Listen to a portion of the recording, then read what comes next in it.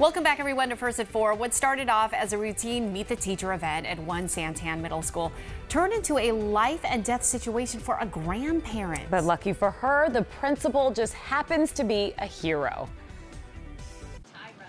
Laura Ridge is one of those principals we all wish we had had back in the day. A principal who has the reputation of truly caring for her students.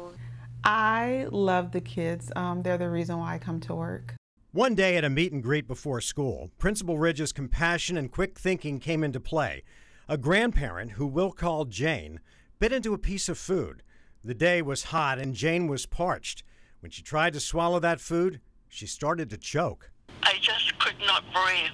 It was really stuck in my throat. That's when Principal Ridge jumped into action.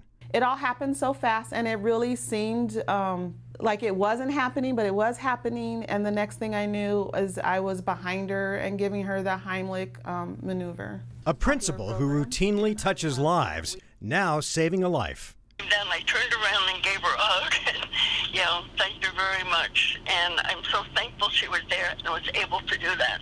I love being here every day, and to be able to help somebody out in my community just um, makes me really excited and proud. Oh, how wonderful. Yeah, well, Principal Ridge was recognized with an award last night in front of the school board for her life saving actions. Well deserved. Mm, yes. Yeah, so many levels.